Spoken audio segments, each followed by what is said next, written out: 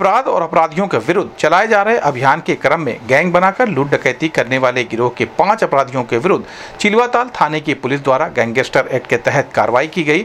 इस संबंध में मीडिया कर्मियों से बात करते हुए एसपी नार्थ मनोज अवस्थी ने बताया कि गैंग बनाकर लूट डकैती करने जैसे अपराधों पर अंकुश लगाने के अनुक्रम में गैंग लीडर मनोज साहनी, पुत्र देवमुनि साहनी व चार सह अभियुक्तों दीपक जायसवाल, मनोज साहनी उर्फ़ टमाटर, योगेंद्र कुमार उर्फ़ पन्नेलाल व छोटू यादव उर्फ़ पहलवान उर्फ़ आशुतोष के विरुद्ध गैंगस्टर एक्ट के तहत कार्रवाई की गई है।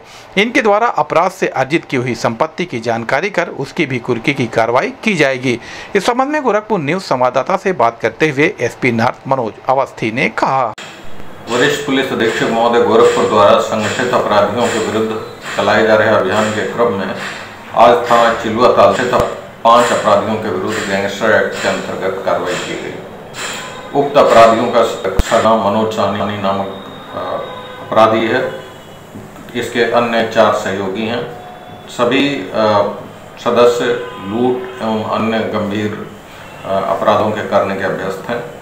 इसमें अन्य सदस्य दीपक जायसवाल मनोज साहनी योगेंद्र, छोटू यादव और इसका सरगना स्वयं, जो कि मनोज साहनी पुत्र देवमुनि साहनी है, ये सभी मिलकर लूटपाट करते हैं तथा इनके विरुद्ध कई कई अभियोग पंजीकृत हैं।